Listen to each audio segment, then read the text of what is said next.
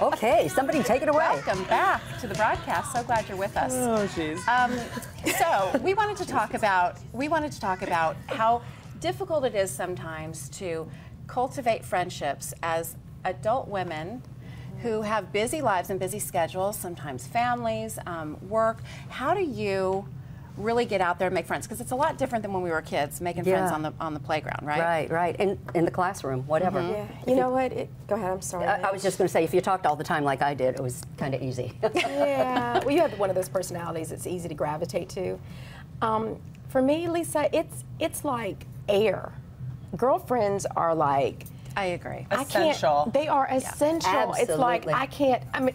I love Oh, there's you and your girlfriend. Oh, those are yeah. Look, a few of them. That Uh-huh. was Super Bowl Sunday. Um, we decided to fly back and not stay for the game, and like that was one of the best moments because you you know you kind of went for being at this huge event, and then that was the funnest part of the weekend for me was just being at home on my couch, just hanging out with my girlfriends and my Yeah. family.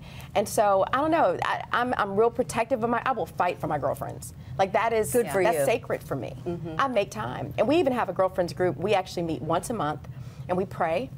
Um, for our husbands and our just in our lives, and then we have birthday lunches, and we are like committed to those. So that's kind of our girlfriend time out. We do girlfriend nights out. I mean, we just we make look- it a party. You look forward to it. Absolutely. I Yeah, do patio indeed. time, patio time with my girlfriends, with wine, and and just we laugh, and it's just I, I crave it. And sometimes I don't I don't get as much time to do it. Aw, Yeah. cute. You know, and I, I wish I did. I wish I had more time. I wish I, I made an effort to make more time. So we have um, Dr. Kate Namas, who is uh, she's a contributor to D Moms magazine, and I saw this interesting article that she did for D Moms about cultivating friendships as women. She gives a few tips, and I think they're really great ideas. She says, invite your girlfriends to your new Moms Book Club.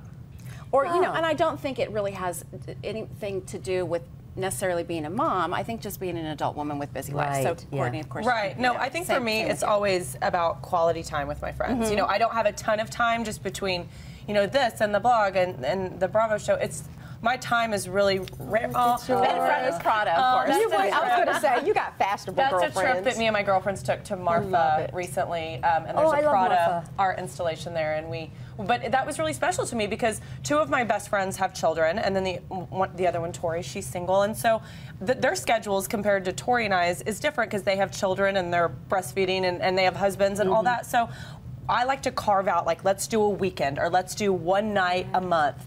Um, and let's make that time really quality. Like I'd rather have smaller doses of great time with them Mm-hmm. than have to talk to them every day or have to see them every day. But that, that because time it gets is so unrealistic special. as you get busier, right? Yeah. So Dr. Kate says, yeah, create some kind of a club, a book club or something. That, Or a wine that everybody. I have a book yes, club, a wine club. yeah. You do. Mhm. Okay. Yes, I do. Mhm. Um, And let's love it. see. There were Yeah. there were two other tips, and I thought they were really good. Find an exercise buddy.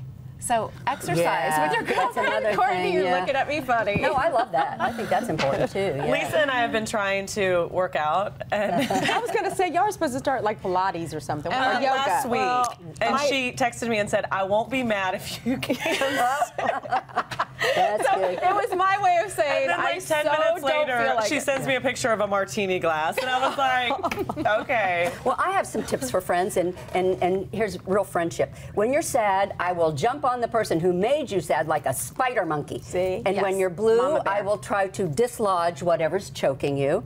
And when you smile, I will know that you're plotting something, and I want to be in on it. and when you're scared, we'll hightail it out of there. And when you're worried, I'll tell you horrible stories about how much worse it could be until you stop whining. Bunch of th- things like that. Oh, I like those. Will you no please be one of my stuff. new best friends? I was gonna say. Yeah, I want you on my Yeah. team. Not elbow some people. That, that's what it's about, though. That's you gotta, right. Oh yeah. You gotta be able sense to. of humor, right? Don't you Yes. think? And You just standing up for your friends too, I think is really important. Like that your friends have your back. That if someone says something negative about you or treats you or disrespects you, that your friends are really they'll. I, my friends, I always say that they will take a bat and go Tonya Harding on you. Like Yeah, they, yeah. they will. Yeah. We they have- fight for me, and I, I We- appreciate that. We have Dr. Kate here, and I, I want to ask her. We've got the camera on her over there. Is there what what is your what is your most important tip when you are talking to women who who are having problems with this because especially if you get into a new relationship or you you don't have as much time.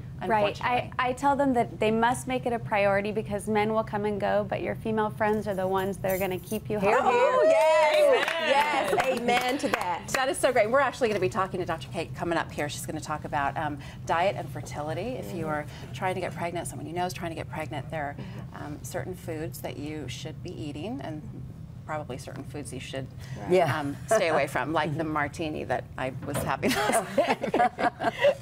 And really quick motto, girlfriend motto. If you want to be or have the best girlfriends, you got to be a good girlfriend. Yeah. Bottom line. True. So You, true. you got to Give be. and take. There you go. That's and, it. and no, no high maintenance girlfriends. That's That's, right. tough, Oh, too when they get mad at you if you don't Yeah. easy, easy. Yeah. It's gotta be Okay. easy.